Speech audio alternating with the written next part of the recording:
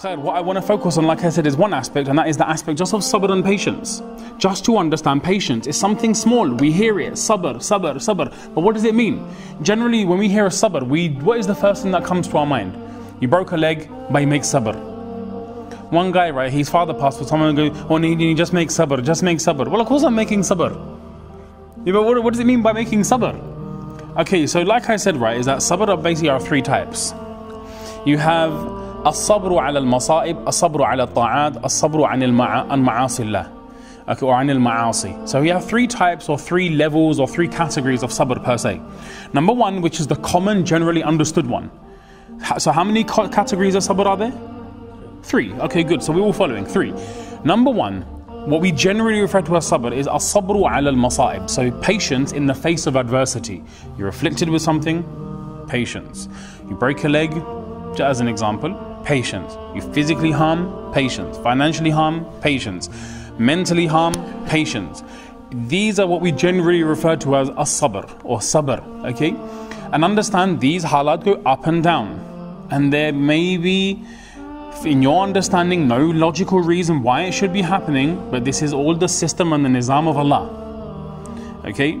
Now remember one thing, and now this is the, the litmus test to test whether it's beneficial or not if you have a musibah that comes, a difficulty that comes, a test which comes, and it draws you closer to Allah, then that test was really beneficial.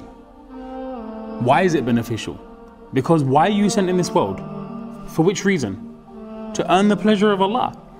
So by having a musibah, if you turn to Allah, oh, alhamdulillah. You know, going back a little while ago, there was this guy, I don't know if you guys followed it, but he actually died of cancer, brother from Australia. Multi-millionaire guy but then he was afflicted with cancer. He developed cancer and then he passed away. And when someone asked him and interviewed him, what have you got? He goes, Alhamdulillah, you know, I have cancer, Alhamdulillah, with the grace of Allah.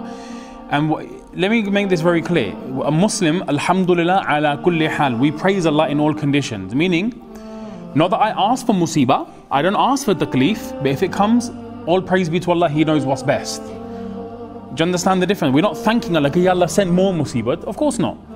But when a musibah, a difficulty, affliction comes, Alhamdulillah ala kulli hal, I praise you in all conditions, whether fi sarra wa dharra, in happiness, in, in, in misfortune, in, in, dis, in, in, in good, in bad, in affluence, in poverty, I'll always make shukr to Allah subhanahu wa ta'ala and thank Allah.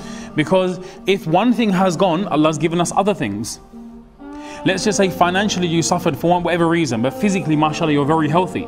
Someone physically may uh, suffer, but financially he's very well off or vice versa. Or someone, for example, phys physically is okay but mentally not well. Someone mentally well but physically not well. Everyone, I'm telling you, by Allah, no one, no one on the face of this earth, nobody who you look at has a perfect life. There is no such thing as a perfect life.